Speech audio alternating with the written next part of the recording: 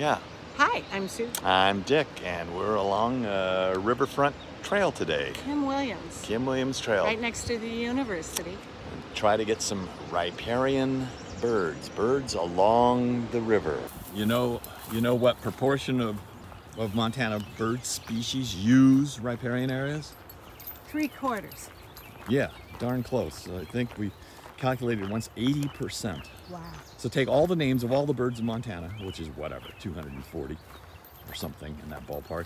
80% use riparian. What percent of that percent are restricted to riparian? They don't occur anywhere else. Half. Yes, so 50% of 80 is 40. 40%.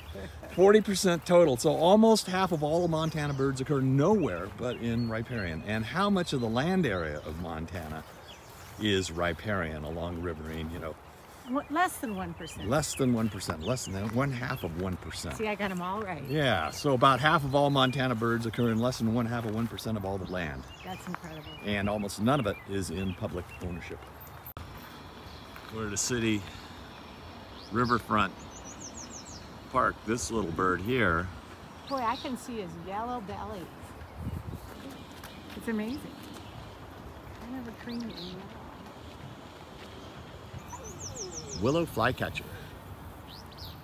There's a key indicator species for riparian riverine environments.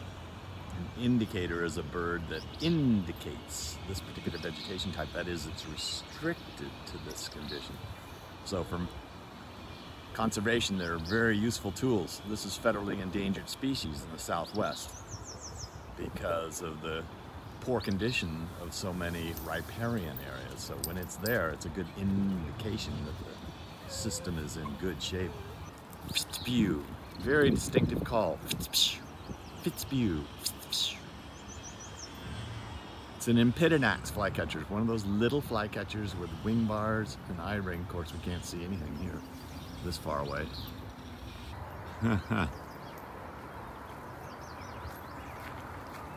Yeah, he throws his head back.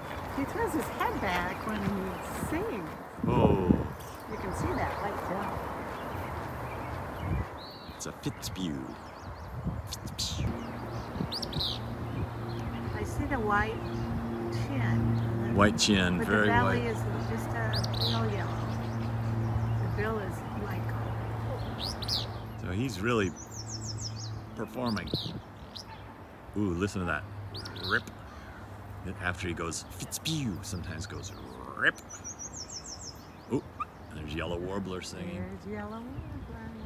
So we're getting a lot of indicators along this riverfront walk of healthy riparian system. Lots of shrubs. Lots of willow, cottonwood. What a great place to go bird watching. Yeah. Yeah, this was a good walk. We'll have to do this again soon.